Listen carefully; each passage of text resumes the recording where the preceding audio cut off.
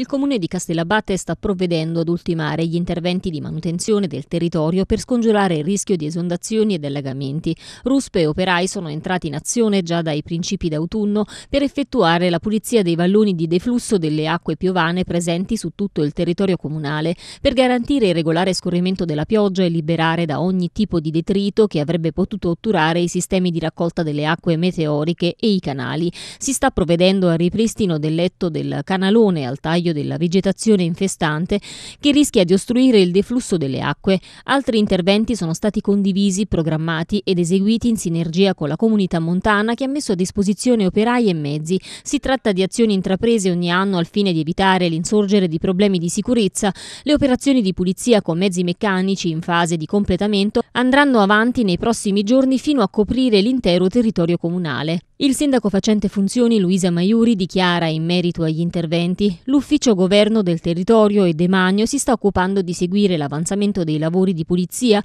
e manutenzione dei corsi d'acqua predisposti, come ogni anno, per prevenire eventuali esondazioni nel periodo caratterizzato dalla maggiore intensità di precipitazioni.